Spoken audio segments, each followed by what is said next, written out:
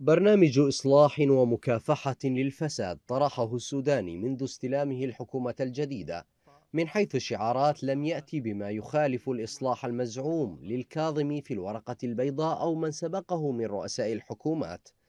أما من حيث المضمون فإن السوداني توعد بمحاسبة الفاسدين وتطرق إلى السلاح المنفلت دون تحديد الأطراف المستهدفة الأمر الذي يشير إلى حملة حقيقية سيقوم بها السوداني لكن لأبعاد حزبية وفي خضم تصفية الحسابات. فلا يختلف عراقيان أن السوداني يعمل تحت مظلة حزب الدعوة وكتل الإطار التنسيقي عموما كما أنه لا خلاف بأن أكثر من تورط بالفساد وأنشأ الميليشيات هي أحزاب الإطار بالدرجة الأولى. فلا يمكن للسوداني أن يتصادم مع من وضعوه في هذا المنصب.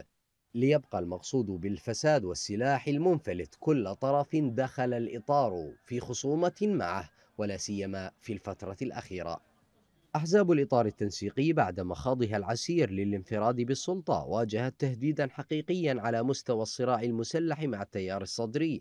وكذلك خصومات سياسية ظهرت على الساحة في فترة حكم الكاظمي.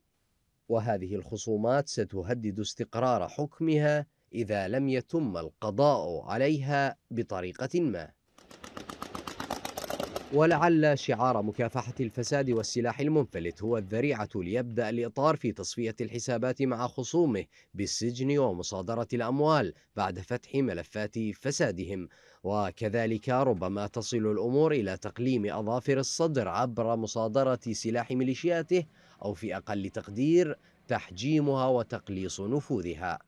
الانفراد بالمشهد السياسي والأمني عن طريق القضاء على الخصوم سيناريو له مؤشرات واقعية. وخصوصا أن زعماء الإطار بإيعاز من إيران يتجهون إلى التهدئة الإقليمية والتوقف عن استفزاز دول الخليج.